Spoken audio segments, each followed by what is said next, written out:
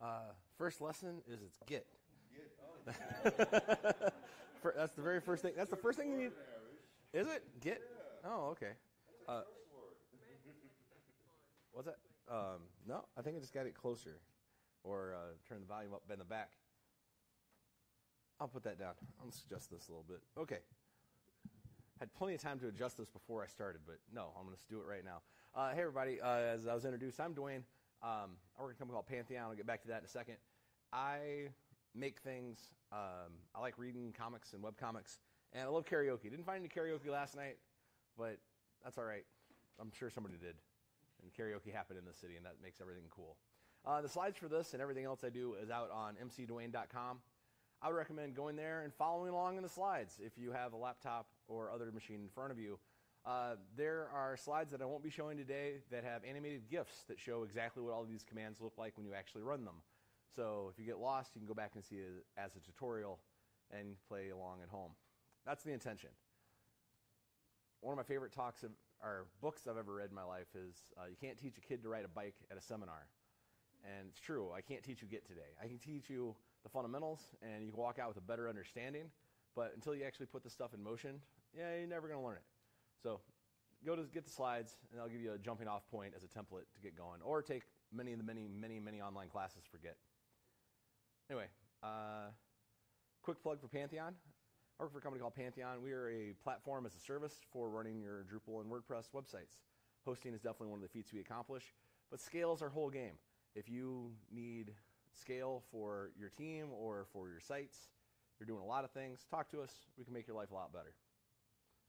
But I want to know who's in the room. Who am I talking to? Like, there's more people here than I thought would be on a Sunday morning. So thank you very much for coming back to WordCamp Asheville 2019. Um, so who here is a designer? Awesome. Who here is a developer? Awesome. A lot of the same, lot of same hands. Uh, and anybody a project manager in here? Cool. I think it's actually super practical for, for everybody. Uh, who here is a content creator, content editor, maker?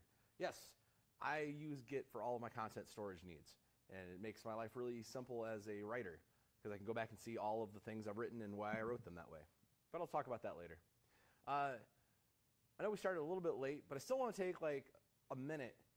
And we're at WordCamp, and WordCamp's real the real value here is talking to other people. Like the sessions are valuable, don't get me wrong, and that's part of why we're here. But really, if you haven't connected with all the other people at WordCamp, uh, we should do that. So just take a second, just look around, see somebody you don't know, and just go introduce yourself real quick, just like a minute tops.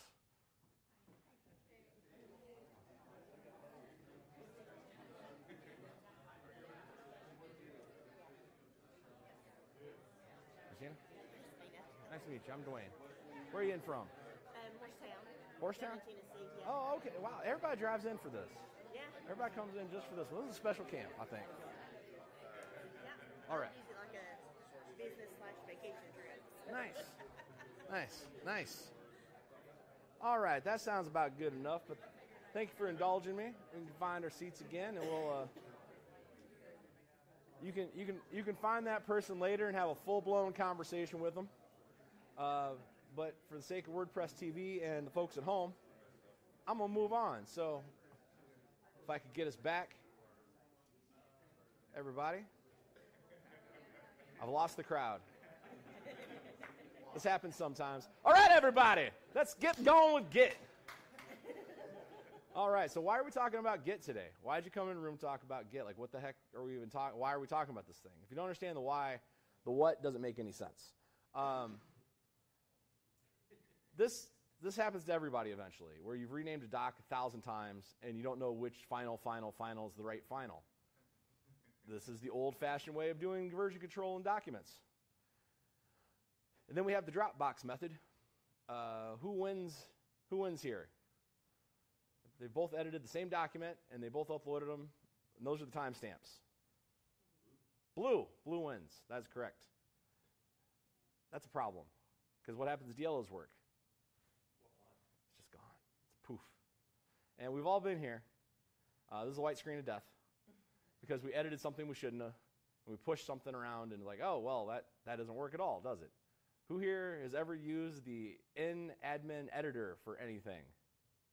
Yeah, We all have eventually popped it open. It's like, I just got to put this little thing in there. I just got to do this one little thing. And then it becomes this. And then we got to figure out what the heck we even did. And ultimately, like, I use Command Z almost every time I touch my keyboard because I can't type that well. But this is a terrible strategy for like managing documents. It's a good for tactical solution for when you're just typing in a text doc, but it's a bad solution overall for getting back in time. So that's what we're talking about. We're talking about Git, the version control system. If you go to Wikipedia, it says something like this. Completely, completely accurate, but it's a bunch of gobbledygook if you don't know what it means. And the manual for Git, if you type man git into any terminal, this is probably what's going to tell you. It's the stupid content tracker. Notice it's not the stupid code tracker. It's not the stupid, you know, developer tool. It's a content tool. Ultimately, that's what Git is. So it applies to anything that's in a text doc. But we'll get back to that. I always think it's important to see where this stuff came from and the faces of the people who wrote it. So we probably should all know this guy. Uh, if you use Linux at all or use anything that uses Linux, like everyone in the world does, uh, we can thank Linus Torvalds. And in 2005, he said, uh, The best decision I have made in my entire career is putting Junio in charge of the project of Git. And this guy, to this day, maintains the Git repository on GitHub, or all the other Git repositories. This is the master key holder for Git. Really funny guy. If you go like read his pull requests, they're actually very entertaining. And what they had the problem was, and why they worked together to make Git, it wasn't just some idea they cooked up. They were building Linux, literally inventing it, and said, "There's over a thousand people around the world who need some way to access this code and communicate with each other about how we are interacting and building this code. And they borrowed the old IBM term knowledge worker, which I think IBM coined in the 70s or the 60s, I think. It's the earliest record I can find of a knowledge worker in that in this context. I said knowledge workers do things. They modify objects over time. So what we're really talking about is a knowledge worker creating a document, saving a document, editing that document, saving it again, and keeping track of every time they've modified that document, including an explanation of what they did so that you in the future know exactly what you did. More importantly, other people in the project, without having to dig through lines of code, can quickly summarize what have we done here? Why, why did we do that thing? But really, we're not talking about single text docs. If we were only talking about single text docs at a time, Git probably wouldn't exist. But who's ever looked at the internals of their operating system? Like just cracked it open and we're curious and like just started digging through files. It's fun. Your machines are yours. Like the, the part of the beauty of open source, and that's why I embrace Linux. Uh, I use uh, Mac for work stuff, but I embrace Linux in the rest of my life because it's ours. Like literally, it's our code. We can go do anything we want with it, and looking through it is kind of a fun thing to do. And there's so many files. There are so many files. And what do they do? And this is not just Linux, uh, WordPress. There's so many files in WordPress. So we're talking about whole projects at a time, giant sweeping changes in folder after folder after folder.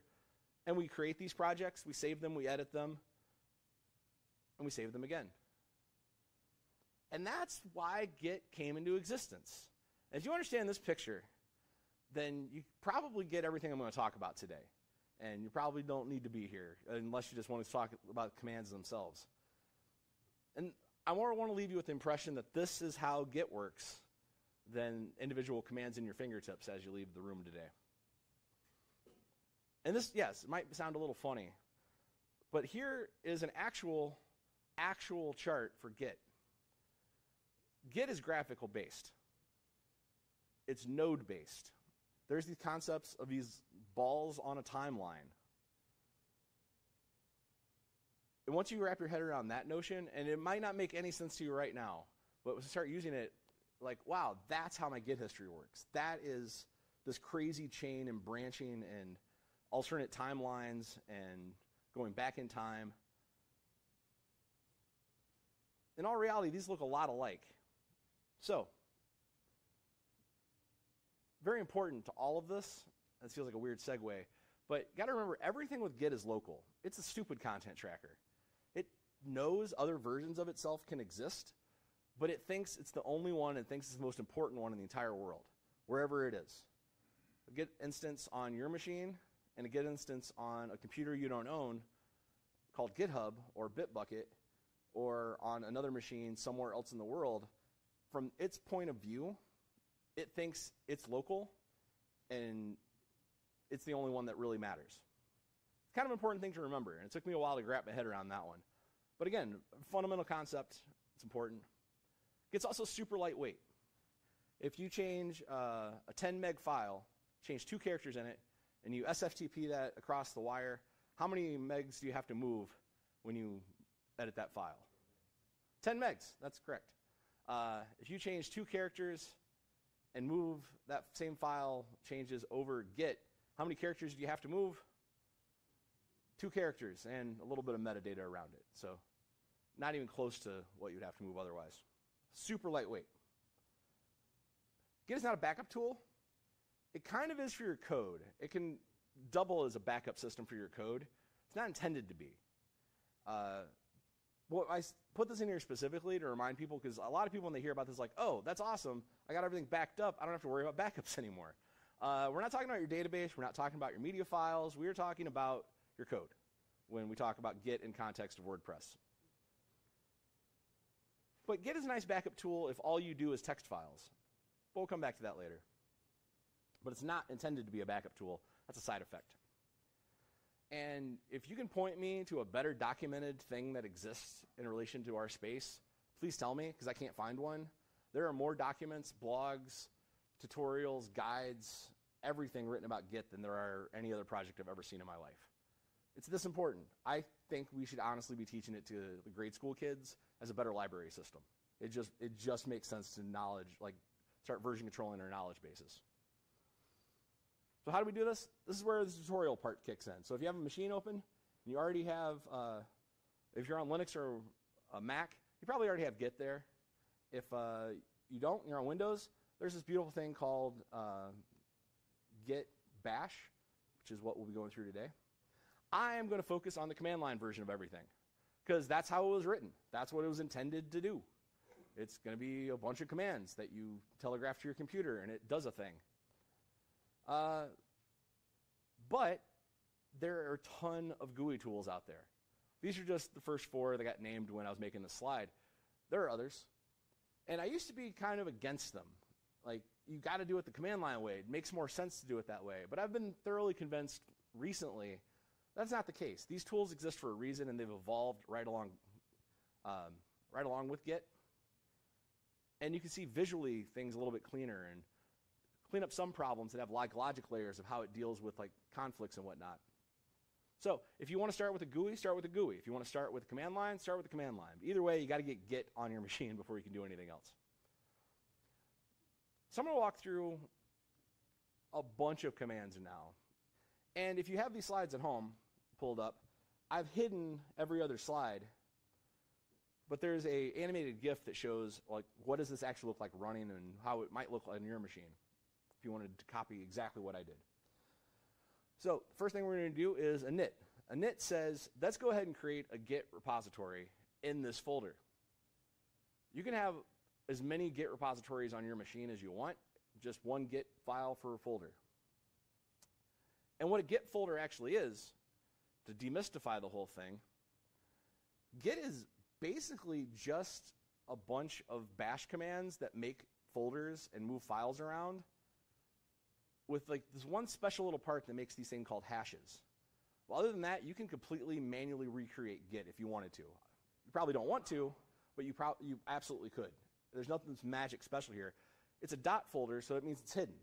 A dot Git.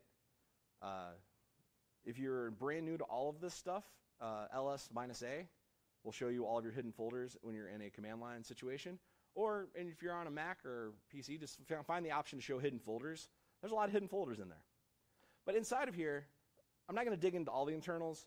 There's a thing called head. Head just tells you where we are.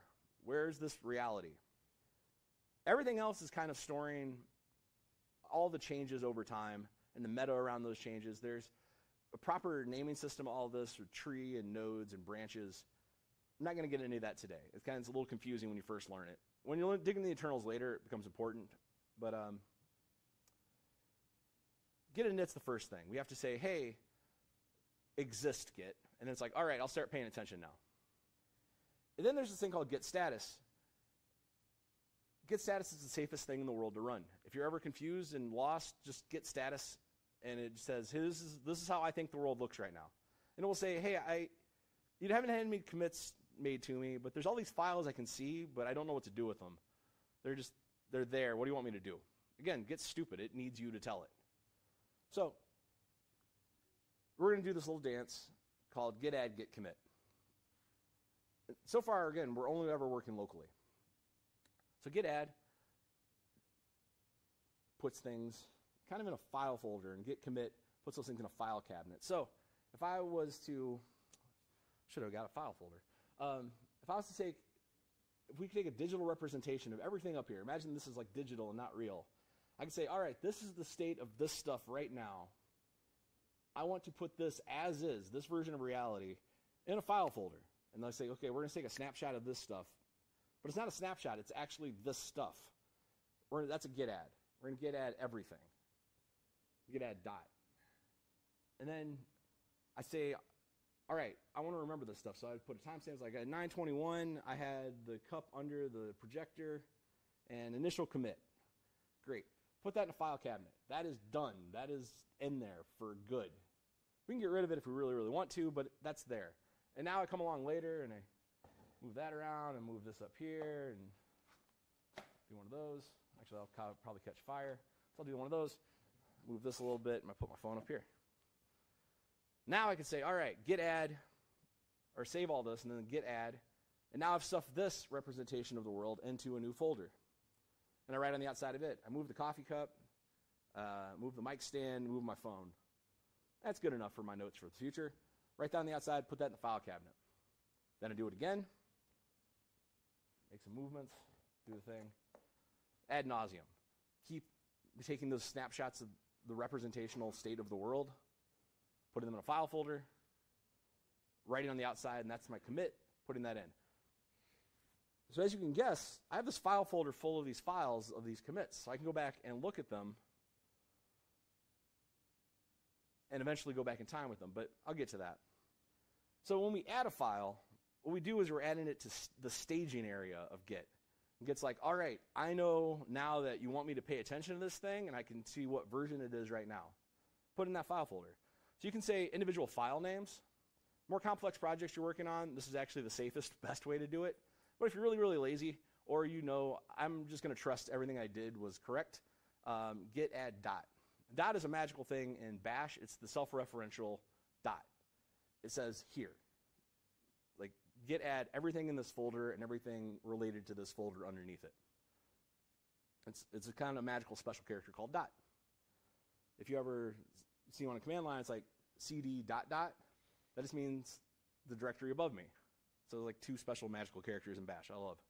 Um, anyway, then when we write our commit message, we can throw a dash m flag in the command line and say, all right, here's my message. If you're using a GUI, there'll just be a box and just write your commit messages in there and it does the same thing.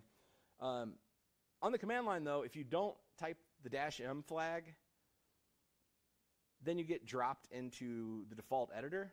And on most systems, that is set to VI or Vim. Um, if you're lucky, it'll be set to Nano or Pico, but most of the time you're going to be in VI. Uh, the number one thing Googled on Stack Overflow Google and found on Stack Overflow is how to quit Vim. Not kidding. Because it's an archaic, weird system when you first encounter it. Like, you have to type a, I to insert to type your message, escape to get back to the command, the level of it, then colon WQ to write quit. Which, on the surface, like, wow, that is convoluted as heck. But if you want to go to a world where your fingers never have to leave the keyboard, ever, learn Vim. It's actually really fun and it will if you can touch type it will improve your efficiency like dramatically like almost immediately. And you can make it do anything. This is a technology that's been around for 30 years that's only ever gotten better and only improved. It's convoluted to use at first but if you want to memorize 100 hotkeys it's better than sublime text or visual studio. I'm convinced of this because you are in the code uh, anyway enough preaching about them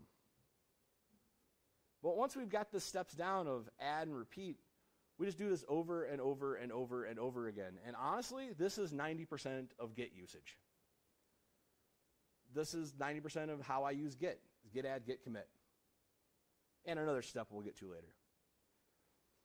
What this does is it gives us this ability to look back in time and see git log.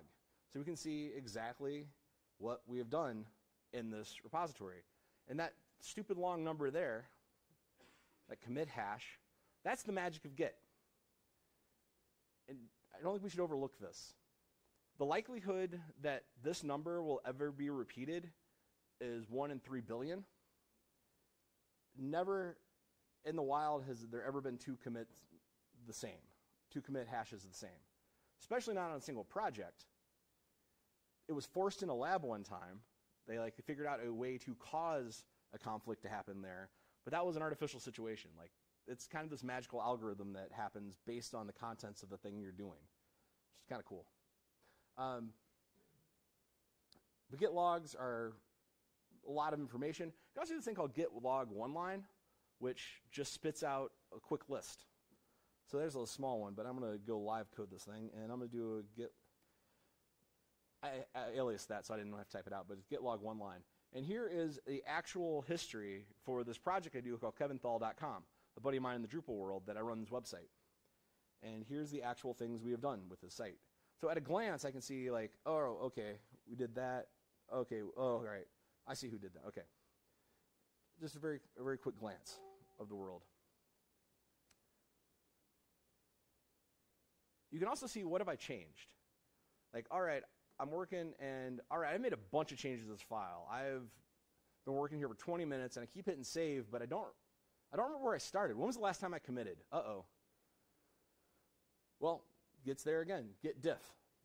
This is the basic use of git diff. Git, git diff actually has a bunch of uses, but the basic one is uh, where am I? What, what have I done? What has changed? And one of the cool, interesting things on Git is Git doesn't do individual characters. So I kind of lied earlier when I said you change two characters. It changes lines. It understands lines of things. But if you change a character on a line, it thinks you destroyed the entire line. So that's why you have a negative red. Like red is this is the second line, and then down below it's the exact same thing. I just added a space above or a, a character turn above. It's like, all right, there's a whole new line. You'd erase that line. So it's keeping track of things very fine grained. And all that stuff at the top is actually important to get itself. And it's things if on a very, very advanced uses, you can actually use that information in very effective ways to get back in time and to modify things. But that's moving forward in time. Again, if you understand that of like I'm taking a representational state, adding it to like get pay attention to this, and then get commit to like save it long term, that is 90% of Git as far as just pure usage. But what makes Git exceptionally powerful is this ability that we can go back in time the same way we went forward in time. Literally. There's a thing called revert, which you can just step back through all of your commits and say, unravel what you did. If you know anything about knitting or crocheting, it's literally just pulling the thread back out, and you just go back in time a step. Very safe to do because you're just undoing the thing you last did. So there's not going to be any conflicts with that. It's pretty cool, pretty safe. You can revert to any of the any of these IDs. So when we're reverting, what we revert is the actual ID. And the short ID versus the long ID, Git doesn't care. It knows they're both the same thing. So this ID maps to the other longer ID, and it's all fine. So here I have said git revert this one, and there, sure enough, what happened is I got a brand new commit that happened that reverted the last set of changes. But that last set of changes are still sitting there. So there's EB, EDB8895, and there it is. But there's a new commit ahead of it. Because you're still going forward in time, even though from the code functionality perspective, you've taken a step back. Because it gets kind of stupid. It like doesn't want to go back in time. It's like, all right, I'm just going to keep adding things. And you can keep tracking and go back to anything. You can even revert reverts, which happens sometimes. Like, well, you know what? That revert didn't actually fix the problem. I guess that bug was somewhere else. Let's just revert that revert. It kind of looks funny in your history, but it's a safe way to do it. Because again, a revert is just a commit. But there's this other thing called get reset. And you throw the flag hard, and it's like, all right, I'm going to forget everything after you told me that point in time. So I get revert to uh, EBDD. There you go. So I had these other changes ahead where I reverted my revert, but that looks stupid in my uh, in my Git history later. So I don't really have to explain why I reverted or revert. So I'll just get reset hard and pretend those didn't ever happen. Now, word of warning about this this is super dangerous.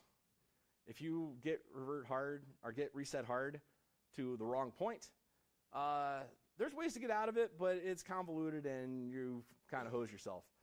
And if you're working on a project with other people, they're going to hate you if you've done this because that's going to mess up their Git logs. Uh, so revert's very safe, and nobody's going to get mad at you for reverting. Get reset hard should be a discussion with your team. I'm going to do this, and everybody's like, okay, we're good with that. Then you do that. If you're working by yourself, do whatever you want. That's forward and back in time. Get add, get commit, and get revert. Three commands, not that much. Get status, get log. Those are informational. Good to know. Not that many commands yet. But then we get to like the real superpower of Git and why this will change your life as a developer. This concept of I'm going to create an entire parallel universe based on what's here now, and anything I do in that parallel universe does not affect my master reality until I want it to. And if I don't ever want it to, it doesn't have to. You can have as many branches as you possibly want. I have one, a Drupal repo with 6,868 6, branches because I installed every module. Is another project. Uh, there's no limit to it. And you can play in these as much as you like. And then when you're done, you just merge those back together and say, all right, I want this reality to now become this reality's timeline. So the word master here is convenient, but it's arbitrary. Like that's just what your first like reality of Git is just happens to be called. They could have called it like Reality One. It'd been the same thing. In fact, you could rename it if you want. So there's no like master slave relationship here. It's just like master's default what they called the original baseline reality. So you can say git branch, and git branch will just tell you where you are. It's like, all right, here's the branches I see. And there's a bunch of flags for this. And if you're working with online repositories, you can look at remote repository branches without having to pull them down. But we'll get to that later. But to make a new branch, you just say git branch and then name the new branch. And it's like, all right, there's a new branch now. Get set up to do this out of the box. And then once you move over to that branch, you just get checkout. And checkout's this very powerful feature. And in who here has ever worked like in the SVN world or uh, any other centrally controlled version control system? So good. I'm not gonna have to unlearn y'all on this one. Uh, I learned SVN first, so this like threw me off when I first encountered it. Git checkout says, hey, Git, move the head of what we're working on over here, and let's pay attention, or not pay attention, let's pretend like this is all of reality now in this branch. This doesn't just affect what it's trying to track, this affects everything. So when you check out, all of your text docs will magically transform into whatever's in that branch.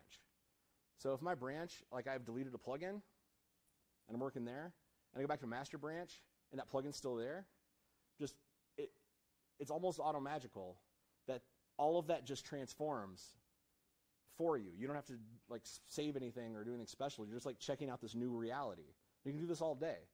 So if you want to test out a plugin, make a new branch, throw that plugin just in that branch, test the heck out of it. That doesn't work. Let's flush it. We don't need to care about this. If it works, let's merge it back in. Um, yep, the branch, uh, the branch you're working in, you do the exact same steps. You get add, get commit, and it has its own Git log. And eventually you merge that back in. So that's a point there. And to merge, you just say, hey, merge this. But where you're merging from. First, you got to make sure you're in the branch where you want to merge into.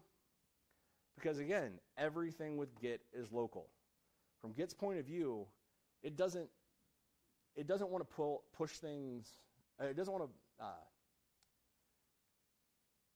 it doesn't want to move things around outside of it. It wants to th- things move into it or move like push away from itself. So go back to like check out master and then merge branch that you want to merge into master from there, and it works good. So you go into the one you want to merge? Yep. Go into the directory you want to merge into? Yes, Okay. that's it. So if you want to merge things back into master, you check out into master. But merge works both ways. So if I have, this is a classic with um, with updates. So uh, WordPress.org has released a, a core update. Meanwhile, I'm working on a new theme that I'm like custom theming over in a branch. I apply the main, uh, apply the update to my master branch, get that to production. Then I go back, jump back into my branch that I'm working in for my new my new theme. Let's call it new theme branch, and I git merge master for my new theme branch, and it pulls that change over so I can make sure that those updates aren't going to break my theme work. Very powerful. You can do this in less than 10 seconds. Like this is a very fast operation for Git. It's like, okay, now I'm good. I can do this. Really quick, really lightweight. So you have infinite number of test machines on your machine now. Congratulations. With almost zero setup. If you're working locally, this just works. Um, but you will run into the sad trombones of the Git world eventually, and there's no way to, I can tell you to prevent it, where you'll hit a merge conflict. And a merge conflict is where the same document or documents have changed in both places. You changed it in master and you changed it in this branch. And again, Git is the stupid content tracker. It doesn't know what you meant. It's like, one of these is probably right, but I'm just going to fail now. But it's not going to completely fail. Git merge will actually get to a state where it's like, I'm going to keep trying to merge this thing, and now I'm in this funky state you need to fix. And all you really need to do to fix it is go and find all of those merge, uh, those conflicts, and it will do this to your text. Because again, we're just talking about text files. Uh, so here's like, okay, this is what you said in master, and here's what you said in new branch. What is it? And then once we fix it, to be our liking, what do we do? We save. What? No. We like we're we're back and like we're trying to fix this in master, and there's a merge conflict that's happened. We fixed the text document. Like, all right, this all looks right to me now. Git. We save, git add, git commit, and we go back. We just right back to that forward march. When in doubt, you're probably going to do a git status and then probably git add and git commit. Like that solves a whole world of problems for you. There's also a bunch of tools that do uh, will help you out with this stuff. But here's like a quick example. Like here's me literally editing that text file. Like, all right, here's here's what I really want it to be. Now git add, git commit, fix some merge conflicts, and there, I'm good to go. Git status is clean. We're all happy. Again, you watch that on your screen, it'll look a little better. Uh, but there are tons of tools that will help with this. In fact, this is one of the arguments for using a GUI. Uh, GUIs have this, can have built-in logic layers that can assist with this out of the box. Uh, Sourcetree is my favorite. It's like I will crack open Sourcetree if I hit a merge conflict that I can't figure out because it will like show me visually things that I can't conceptualize in my head that easily, uh, and will actually help me find all of the merge conflicts. But there's all sorts of tools. If you just type git merge tool, it will say you don't have any of these installed by default. Which one would you like to use? And then once you pick one, it will like throw you into that tool, which is will just take you right to the conflicts and let you fix it in text. Everything up to this point has all been on your machine, 100% local. Now we're going to talk about Git repos, Git repositories on machines you don't own. But guess what? It's just Git. There's a fancy UI on top of it. Don't get me wrong. Like all of these people have done amazing things. GitHub is the classic, the first to bat. Uh, but GitLab, their CI/CD is pretty darn awesome. There's a reason the Drupal projects went with them as their uh, collaboration hub. Bitbucket's got uh, some advantages as well. I'm not going to say one over the other. They all, but they're all implementations of Git online. I'm going to show GitHub because it's the most common, and I think everyone needs a GitHub account. But this is just the same as doing a Git log locally. Just it looks a little different. The model is very very simple once you start viewing it only from everything's local and I'm basing my point of view inside of one of these bubbles because you're pushing away from yourself and you're pulling into yourself. So if we look at um, your repository, you get pushed to a remote. But from the remote's perspective, it's pulling the code into it. For my repository origin, I am pushing. And then on my colleague's machine, they're going to pull that content from, or pull that code or whatever, those files, from origin into their machine. You pull into the repo, you push away from the repo. And if you always view it from the point of view of, you know, one of these points of view, it makes a lot more sense. It's like, all right, I am on GitHub. I need to pull something into here. I'm on my local machine. I want to push it to another machine.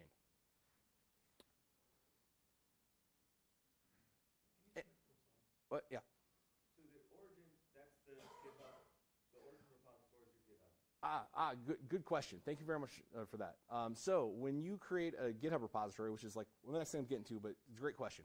Um, just the same as your master reality just happens to be called master, your first remote repository, or your first remote, like the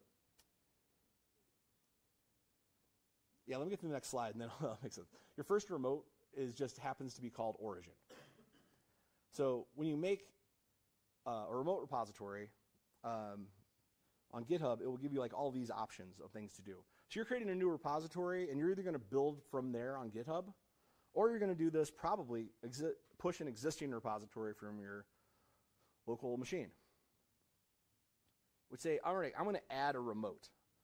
Git remote is like here's a machine that's not this machine, where there's a clone of this repository that I need you to be connected with, and tell me if you're in sync. Because Git might be stupid, but it can tell you if it's identical to its twin. And if it's not identical, it's like I'm not identical anymore. And it can tell you like we're out of sync. I'm this many. I see this many commits ahead that I don't have locally. What, what should we do? Or not even won't even ask you. We'll just sit there. But um, saying, all right, git remote, and the first remote just happens to be called origin. There's no rule to that. You can call your remotes whatever you want to call them. Uh, but the first one just happens to be called origin. So in this model, yeah, that's that just happens to be the first GitHub repository we made for this. So in the first place we want to push. Colleague's repository, that's on his computer. Yep, literally. How That's push from your computer to his computer without going through the remote? Without going through GitHub? um, LAN. If I have the address of his machine on a network, Git don't care. There's like no re- computer A, computer B. However we network them together, Git don't care. It just knows I got a remote here and I have an address that realizes it's over here. I can con- conceptually connect these two things now. But that's not a common situation, right?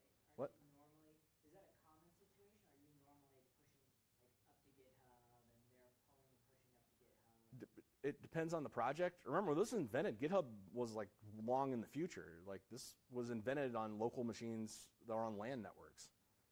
So, So everybody in the same office, basically. or around the world.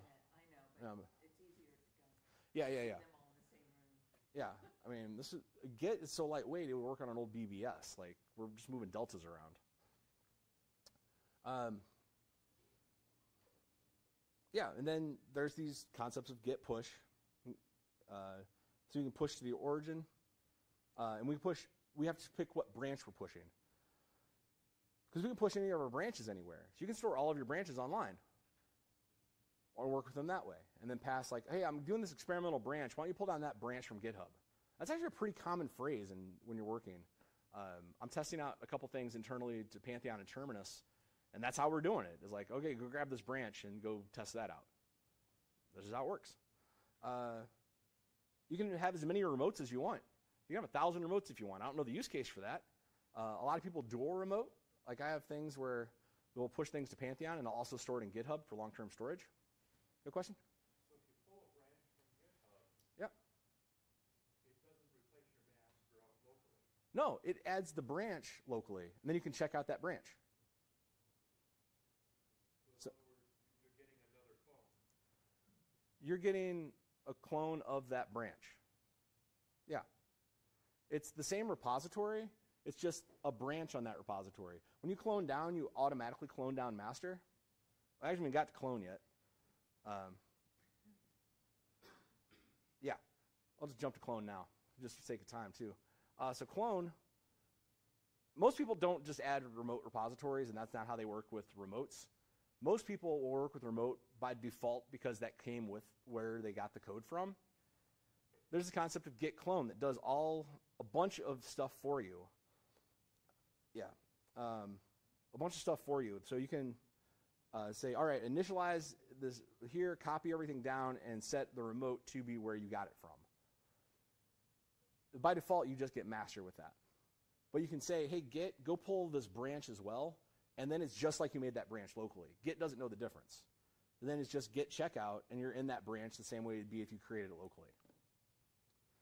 All right, jump back here real quick. So I can git push locally, so I'll change, make some changes, push them up to GitHub. I can also edit on GitHub, or someone else could have edited this file, pushed it back to GitHub, and then I would need to, oh, went the wrong direction. Then I would need to pull that information back down. Technically a fetch, a fetch and update, but I'm not getting into semantics with you here. If you say git pull, it will say, hey, go make this true versus what I see over there. Again, you could get a merge conflict from this. It could be like, hey, something's wrong here, depending on how you've been working with that repository. But with enough git statuses and enough quick code reviews, should be good to go. And then same thing, we just push, push pull all day long. Git clone though, I already talked about. This is the most common way people use GitHub. It's like I'm going to git clone this down. At some, at some point, you will run into a situation in your life like, oh, there's code for that on GitHub. Just go pull it down. Eventually, someone will say something like that to you. This is what they mean. Let's go run the git clone command, throw it into your local, and then get to work. You can optionally name the thing. So git clone, the address of that GitHub repository, and then WP CLI demo is just what I called that folder. So we'll clone it into that folder. Then I can change into that folder and see what's going on. There's that demo folder I just made. And that gets us up to the last important section, which is pull requests. Pull requests are concepts you actually already know. We already covered these. It's a branch and a merge, but there's a conversation in the middle of, hey, why do you want to do this? That's all it is. Branching and merging, again, we're just using Git on a machine you don't own. Unless you do own it. You can run your own Git instance out there in the cloud. That's cool. Uh, but you have to be the person who runs it. GitHub gives us this ability of repository owner, the person who can actually say, this goes in here. You can have multiple owners, but that's why it's very, very important to have people that are like core committers who can actually make changes officially to a thing. Everybody can make suggestions. We can all go right now on our computers and make a suggestion to WordPress core. Say, here's what we think we should have. Here's a patch that we think should be applied to WordPress core. But there's only a handful of people in the world that can say, yeah, that's a good idea. So that's the person over here, the person in green. Like they're the repository owner. Everybody can push up to um, a branch to the repository. I'm going to, there's more complicated than that just pushing, but you can open a pull request with a new branch and say, hey, check out this branch. Check out this code in this branch. And if it's cool, then you merge it with master on your end. That's called a pull request. GitHub has a very, very, very slick interface for this. So does GitLab, so does Bitbucket. Uh, make it very, very easy. You can do this all with command line as well, but I'm not going to bother getting into that world. It's way easier with the GUIs on this one. And that's it. If you, this is 16 or 12. 1, 2, 3, 4, 5, 6, 7, 8, 12. 16, uh, 16 commands. You remember, no, can remember like this list of commands, this is honestly 95% of what I've ever seen Git used for. There are a bunch of other crazy awesome tools with it called like Git Bisect, where it will help you track down where a bug emerged. Um, Git Cherry Pick, where you can like really mess up your repository and then say, nah, I'm just going to cherry pick off of these other areas like what's reality. And then we're going to say, all right, Git, this is reality now, go forward. Um, but those only get into situations where you've done something more advanced. The vast majority of time, all you're probably going to do is git clone git add, git commit, and git push origin master. Those four commands are literally 99.9% of what I personally ever do with Git. For everything else in the world, just go to DuckDuckGo. Uh, I'm, I'm not even saying it for the privacy concern reasons, but if you, if you look up anything Git related on Google, you're going to get Stack Overflow from 2012 from the way the indexing works. Just the truth. Not that there's anything wrong with that. Git hasn't changed. Same Git. Uh, I find DuckDuckGo actually gets me to the documentation and actually relevant current information just faster. I don't know why, but it does. Thousands and thousands of resources out in the world for you. Uh, how to get started guides, um, full on tutorials where you can learn the command line of Git from the browser and things like that. But that's it. That's what I got.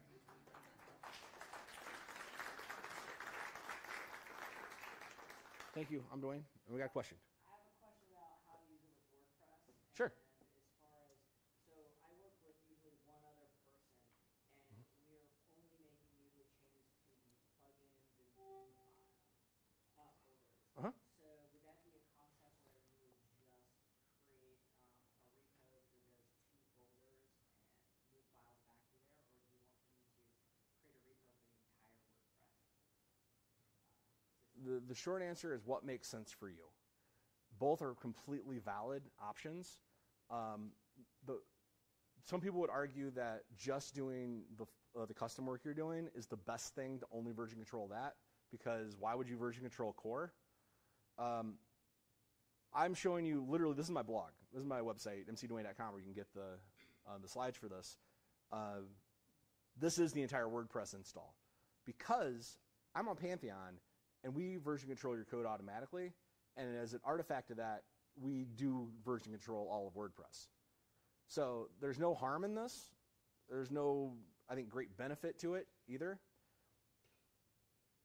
What you probably actually want to do is go to a world of uh, Composer, where you tell Composer, go grab all the off the shelf parts like WordPress core, and I'll only worry about these two folders that live over here. And I can even tell Composer to go grab those folders when you're compiling the thing.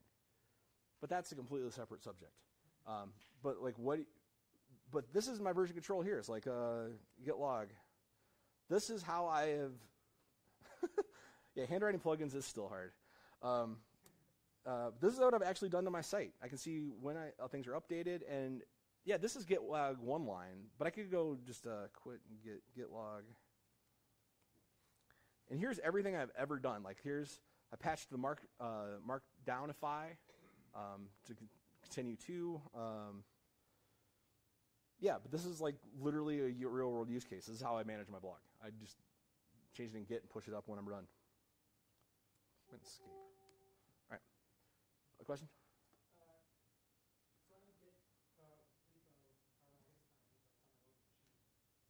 No, it's repo. A Git repos or Git repo, Git repo. It doesn't matter.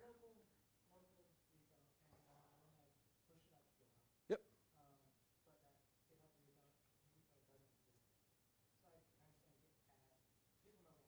Yeah.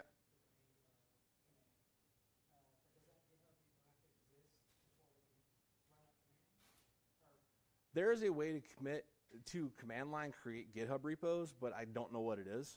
But it's in the docs. Like it, you can do it. Uh, it's in the GitHub docs specifically. Yeah, you, you need the GitHub CLI to uh, pull that off. But the e- the far easier path that works reliably is just go create it on GitHub first. Yeah, that's it. That just follow the directions there. It's like two steps, and it's just it's way reliable. But there is a command line way. I just don't know what it is. Back to what he asked, probably as far as committing whole core or just say a thing. Uh-huh. uh, or WP content, uh, if you were committing the whole core, you wouldn't want to commit the WP config. would you? No, that's uh, that's a great great question. Committing WP uh, config. So I do.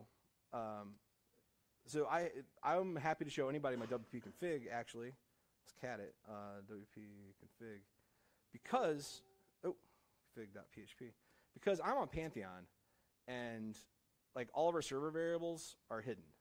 So like so yeah, this is yeah, DB name, username, they're all picked up from the server. So if you're doing it this way and you're using a token system, yeah, commit it all day because who cares? Uh, unless you don't want people to see your redirects, which they're going to hit anyway. Um, oh, clear. Sorry. Yes.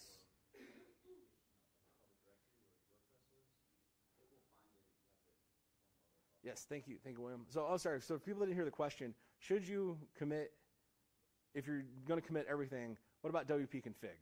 And general, no, don't commit WP config if you're going to version control everything, unless you're using a tokenized system like we have at Pantheon, where it doesn't matter. It's just like a something, a server variable that's going to get picked up, and then, then it doesn't really matter.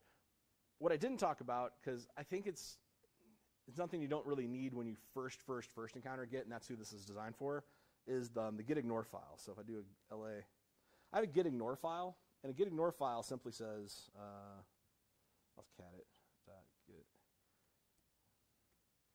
Ignore all of this stuff. Git, don't pay attention. If it's a dot DMG, a dot jar, a dot zip, do not track it. Uh, if it's an icon, which is a thing, or DS store, screw DS store. Um, I hate DS store so much. Like, just completely ignore it. Like, we are not going to track that. Don't even ask me. I don't want you to know. So that's git ignore. It will just let you ignore things. This becomes very important if you're doing like complex projects with nested git roots or next, nested git um, repos. You can say, all right, let's just ignore all of those and just deal with the high, high, highest level.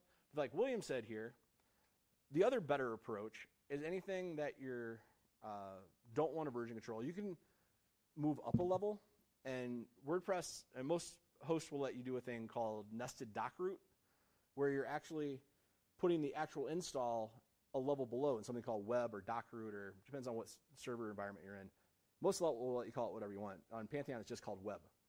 But you can store things in there, and then above that, is all the meta about your site, and you can store anything there you want, and those would be separate repos or the same repo. Or there's multiple ways to approach that, but that's a good way to do it. It's like keep that stuff above that you're not version controlling.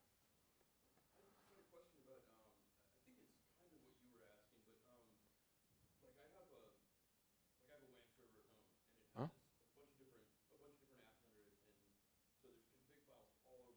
Yeah. And would it make more sense for me to initialize the entire thing and then set up the individual apps under the server as like um, submodules or? No. Um, submodules are not a great idea in my general opinion. Some people will argue that, um, and there's that's one of the beautiful parts about computer science is there's not a hundred percent right answer to that. I would discourage that, and I would say individual repos for every app that you're running. Uh, it's just going to be cleaner and a much smaller repo.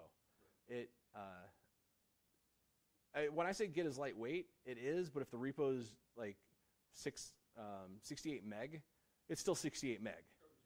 Yeah, exactly. But there's no like one 100% right, I could tell you. William might have an idea though. there you go. Agree with William. William said don't use submodules. I, Git Stash has gotten me into trouble more than it saved me. I'll be honest with you. So Git has this ability called Git Stash, which just says anything we got committed or not committed, anything we got staged, uh, or any changes we can see, let's just ignore them for now, and let's me do like get out of like any weird state I'm in temporarily. So the the big best use case I've ever seen for Git Stash is uh oh update rolled out and this is a mission critical like security flaw update we got to get to production everybody get stash right now. Make sure your stuff's clean. We're to push this to production. All right, now we can unstash and go right back to where you left off and hope nothing broke. I have forgotten to unstash personally enough times that it's burned me that I like other alternative routes to stashing, but stashing is a powerful tool. If you're working locally, it's actually super handy. But don't forget to unstash or you'll end up with more problems than you started with.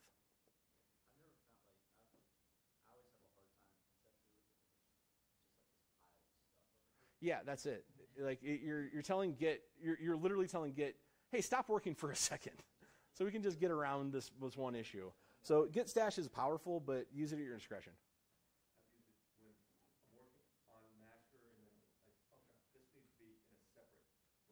Yeah. So I'll stash, create a new branch, and unstash. Yeah. And that way I can move all those changes from one branch to Mhm. without committing Ab- absolutely. That that is a proper way to use it, and I'm not going to argue against that. It's just I've burned myself enough trying that that I don't do this, but that's personal. Everybody's going to have a different opinion. I think that's it. I think, I think we have time for maybe one more, but no. All right, one more, and then we'll, then we'll clap.